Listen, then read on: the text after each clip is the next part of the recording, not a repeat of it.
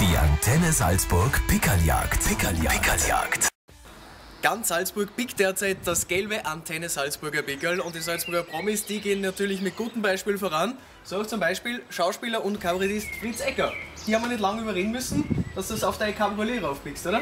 Naja, vorne habe ich ja schon eins drauf, ein Pickerl auf der Windschutzscheibe. Das äh, ist das, mit dem ich dann auf der Autobahn fahren darf. Und vielleicht kann ich das vordere Pickerl, das ist ja nicht billig, das muss auch ein Promi Ja. äh, mit dem hinteren finanzieren. Ja, ist wir das. Das eine super. Aber schön gerade, gell? Ja, ich weiß. Hoppala.